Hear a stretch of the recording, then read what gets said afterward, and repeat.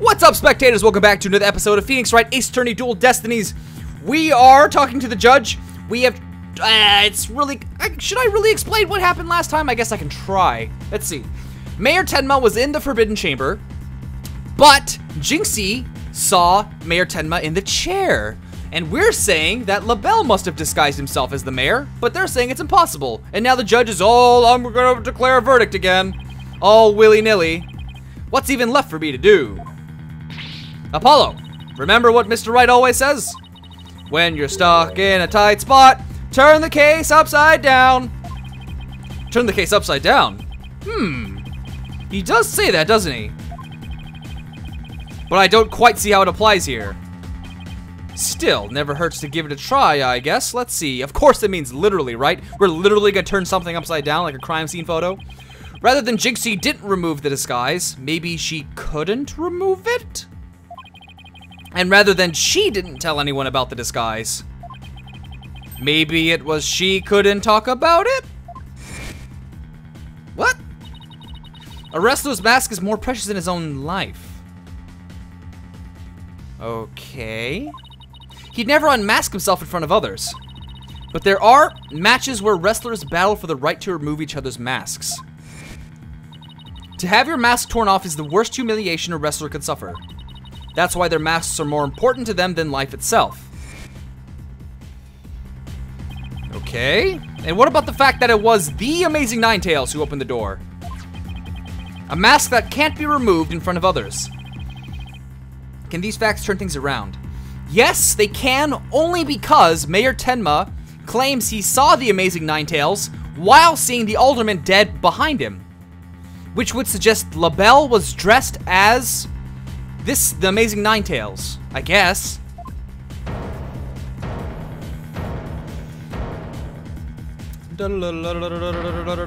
Man, I feel it. We're so close to the DLC case. We, I can taste it. Oh! We got it all backwards. Apollo? I think... I think we might have made a huge mistake. Stop listening on, on my conversation. I see no need to further indulge them in their silly little farce. The defense has no proof. They never did and they never will. Hmm. Then it seems I must announce my verdict. Objection! I do have proof. Do you now? All right, but this better be good, Mr. Justice. We can solve the remaining riddles by turning all of our assumptions upside down. Why Jinxie Tenma mistook Mr. L'Belle for her father. Why she couldn't remove the costume or tell anyone about it in the first place. These riddles are all inextricably linked to Mayor Tenma's secret identity. A shocking secret identity that will turn the entire premise of the case upside down. A turnabout, if you would. this piece of evidence clearly reveals Mayor Tenma's secret identity. It's gotta be the mask. I'm, I'm screwed if it isn't. Oh! What absolute claptrap. Poppycock. Balderdash. What are you, from the 1930s? We thought the alderman was the amazing Nine-Tails and the mayor was Tenmataro. What? That's why we believe the mayor killed the alderman his lust for Nine-Tails Vale. And it was the basis for the prosecution's entire case against our client. Oh, we always assumed he, Oh. Are you telling me Ten Mayor Tenma is Nine-Tails guy? What a twist! However, that's judging a book by its cover. We got the whole thing backwards. Mayor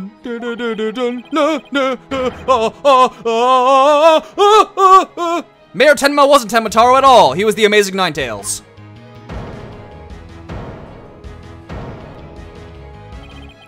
What, what, what, what's this? Err, grr. You'd best explain yourself, Justice Dono. And from where'd you derive such a far-fetched conclusion? Ooh, this is intense. Ooh, I'm digging this music. Ugh. Jinxie, no doubt, knew the true identity of the Amazing Nine-Tails. But she couldn't tell anyone no matter what. That's why she didn't say it was the Amazing Nine-Tails she saw passed out. Even though... it looks so adorable. Ugh. It was really Florent L'Belle in disguise. The accused and that deceitful dandy are utterly dissimilar in physical build and voice. The little scamp would have seen the difference. Objection. Remember, Mr. L'Belle is his very own brand of cosmetics. Why couldn't he fake a different build too? Yes, apparently his cosmetics are as good as a polyjuice potion, and he can just go, Woo! I have wrinkles and an, an older face. and anyone speaking through a mask would naturally sound different. Yeah, if, I guess if he sounds like Bane. Why did she not simply pull the mask off? Objection. A masked wrestler's disguise is more prescient than life itself. As a huge fan of the Amazing Nine Tails, she would never dare unmask him. Gah! Ooh ah! Ooh ah! er. This case of mistaken identity also explains the riddle of the locked room. Then by all means, Mr. Justice, answer it for us already. First, Mr. L'Belle entered the room where the mayor and alderman were talking. Oh, hello. I suspect he brought with him coffee laced with some sort of sedative. Once the alderman was out cold, that's when Mr. L'Belle killed him. Next, he took the mayor, who he had also drugged into the Forbidden Chamber. Whee! Then he returned to the Fox Chamber, slipped into some of the mayor's spare clothes, and completely disguised by donning the amazing Nine Tails mask. With his entire charade in place, Mr. L'Belle then let out a scream. Ah! The scream that led Jinxie Tenma to the scene. Oh, hello, Dad. Ah, so then. The person who said I killed Alderman Kyubi was... A fox. Yep, that was Florent L'Belle in disguise. The mayor never, never actually confessed. Silence. This is no more than guesswork and speculation. Now stop your jabbering and... Objection. No, you twisted samurai! That's not even an insult. This time, you stop your jabbering and let me finish making my case. Uh, uh, I'm so hurt by your words, twisted samurai! I'm not twisted! Once Miss Tenma left the scene... That's... Ring, ring, ring. Mr. L'Belle, still wearing the mayor's clothes and mask, opened the forbidden chamber. So we could drag the mayor back out into the fox chamber. Oh, so the amazing nine tails the mayor saw was... Right, it was L'Belle opening the forbidden chamber. The second time Mr. L'Belle opened the door to the forbidden chamber, he happened to catch the thieving Mr. Filch by surprise. Startled, Mr. Filch in his Tenmataro disguise ran as fast as he could away from the room.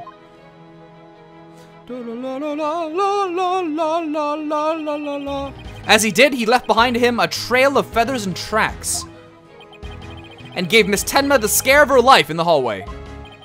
With no one left to witness the events that had occurred, Mr. L'Belle then proceeded to drag the sleeping mayor back into the fox chamber.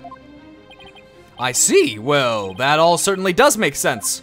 Does it really? That made sense to you? Okay. Then after dragging the mayor back into the fox chamber, Mr. L'Belle threw the mask out the window and fled the room. Silence. For this absurd theory to work, it requires that the defendant be the Amazing Nine Tails. However, he was the one pushing for the municipal merger. That such an individual could possibly be the Amazing Nine Tails is preposterous. Objection. The mayor was blackmailed into pursuing the merger. Miss Tenma's life would have been in danger if he had only openly voiced his opposition. That's why he created a secret identity as the Amazing Nine Tails. This is madness! No one could possibly hatch such an insane plot.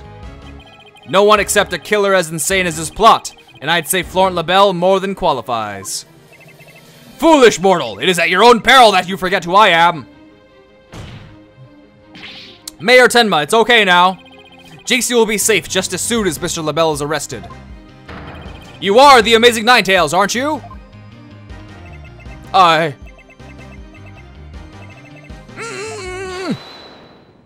Oh, it's Jinxie. It's Jinxie. It's Athena. It's Jinxie and Athena. It's Juniper. It's Phoenix! L'Belle. Wow, I guessed so many characters. Wait. Oh, I did say L'Belle. Wait, did I say L'Belle? I don't know. Oh, you have quite the active imagination. Mayor Tenma is not the amazing Nine Tails. Objection! What do you mean? Well, has the mayor admitted to it yet? But that's just. And even if he did admit such nonsense, I would reveal the truth behind Tenmataro right here and now. What? Why, you, you would dare reveal the secret? Oh, my good friend the Alderman told me all about it. But it wouldn't be good to expose the truth. What with the superstitions now, would it? The truth behind the Tenmataro? What's he talking about? Willis? So go ahead, say it! Say, I am the amazing Nine-Tails! I dare you! I don't know when it turned into a sort of southern accent, but. Err, ga ga ga. Wait! Will somebody please explain what's going on here? Mayor Tenma will do anything to keep the truth behind Tenmataro a secret. A dark, terrible truth that has been kept secret by the village superstitions. And if the mayor admits to being the amazing Nine-Tails, you'll expose the truth? Right, I won't have him walking free because of some nonsense you made up. Hmm. So what now, Justice Dono? Without the mayor's admission, your theory is as useless as you are in battle. I'll show you who's useless. Apollo, don't you dare give up now. I know, I know. Your Honor, I believe Mr. L'Belle's statements warrant a thorough cross-examination. After all, the true identity of the Amazing Nine-Tails is the cornerstone of this case. Hmm, you do have a point there. Please answer this court, Mr. L'Belle. Is the defendant the Amazing Nine-Tails or not? Interesting. The Amazing Nine-Tails' true identity. The Amazing Nine-Tails' true identity is not Mayor Tenma. The mayor would never admit to such utter nonsense. But if he did admit to such a nonsense, I will expose the truth behind Tenmataro right here now. And that would bring ruin upon Nine-Tails Vale, just as the superstitions say. That was a lot of emphasis. Talk about out of the pot and into the fire. It's pan! The metaphor goes pan! The idiom. Actually, well, I guess an idiom would be a metaphor because it's a colloquial metaphor. At this rate, the mayor will be found guilty for sure. Honestly speaking, if Mayor Damian Tenma is not the amazing Nine-Tails, I'm afraid I don't see how the defense has much of a case here. And let's just leave it at that, shall we? We all know Alderman Kyubi was the amazing Nine-Tails anyway. I mean, that's how Nine-Tails Vale made so a comeback. The Alderman was so popular. There's gotta be a hole in that testimony somewhere. But I don't even know where to start. Since we don't have any proof that the mayor is the amazing Nine-Tails, then we'll just have to get him to admit it himself. But if he admits it, L'Belle's going to expose the secret behind Tenmataro. Hmm. Oh, we are so close. I know it. The defense may cross-examine the witness. Goody. My favorite cross-examining L'Belle. Mm-hmm. Yes, yes, yes. The Amazing Nine-Tails' true identity is not Mayor Tenma.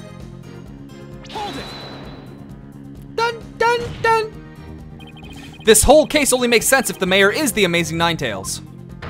I know you used his mask to create this illusion of a locked room murder. Silence! Hmm. Nothing more than idle speculation. You've no evidence now, have you? Objection! Mr. L'Belle knows what this statue originally looked like. That means he had to be in the Fox Chamber while it was still locked tight. Oh, sorry, but I heard about the statue from Alderman Kyubi. If you don't believe me, just ask him.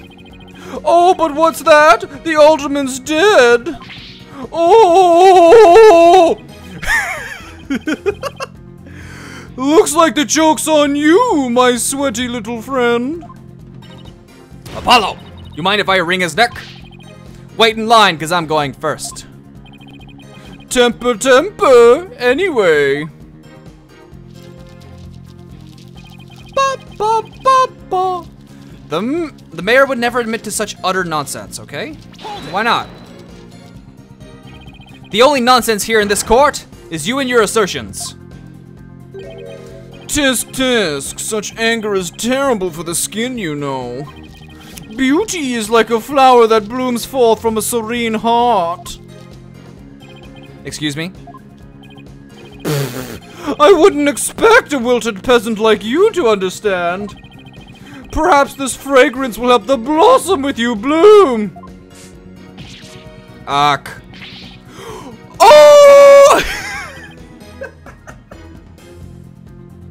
you liked that, didn't you?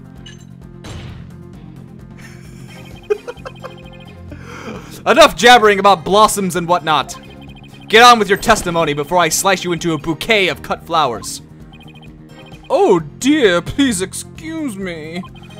As I was saying, the assertion of our wilted attorney here is utter nonsense! But if he did admit to such nonsense, I don't even want to press this. Do I? I don't want to. Do I want to? Ah, it's such a boring statement. You'd be arrested, wouldn't you? Yes, it's true. I would be sacrificed upon the altar of justice despite my innocence. But what a terrible loss that would be for the future of mankind's cosmetic needs. It is a tragedy that must be averted. Defend me if you understand this. Silence.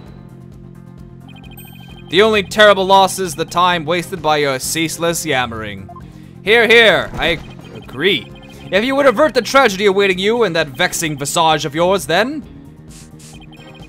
Yes, yes, I know. Get on with my testimony. Anyway, suffice to say.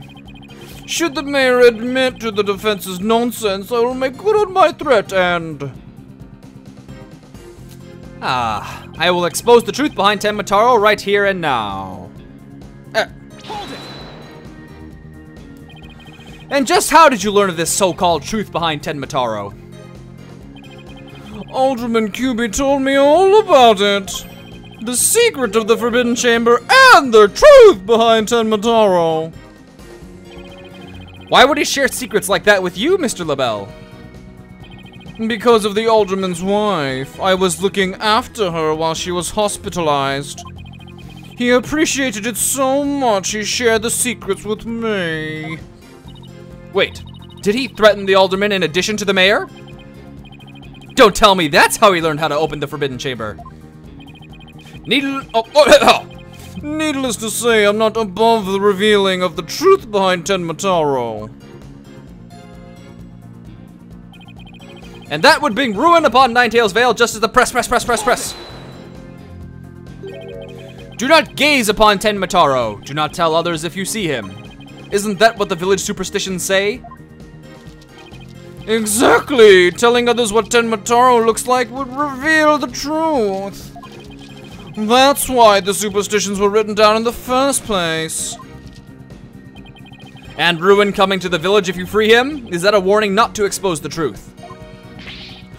Oh, Bingo was his name, oh, and that truth is, Tenmataro is a great greed-inspired fortune. That's what the whole Battle of a Nine-Tails Vale is all about. Tenmataro is a great fortune. Come to think of it. Yeah, only that's the greatest get-rich-quick chance in the universe. Grandpappy told me all about it. Said there's an amazing treasure in there. That's what he's after? Oh. Could Tenmataro actually be... What? That's some... That's some... Twist! That's some Shyamalanian twist! Oh, it's been 20 minutes, damn it! It was getting so good! Well, I guess we'll have to wait for the next video, sorry. But stay tuned for the next video, and thanks for watching! Bye! These guys suck. Oh! Heyo, that's it, team. You get him. Get in there. Yeah, that's it. Go. Everyone go. What are you using? A pool cue? Dude, Boone. Boone. What is wrong with you? Give me, give me the freaking pool cue.